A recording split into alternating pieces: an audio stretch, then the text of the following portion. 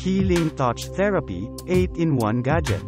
Highly recommended for stroke, Bell's palsy, carpal tunnel syndrome, and diabetes patient. Give benefits for person with high blood pressure. Lessen the feeling of stress, fatigue, and anxiety when using Healing Touch Therapy.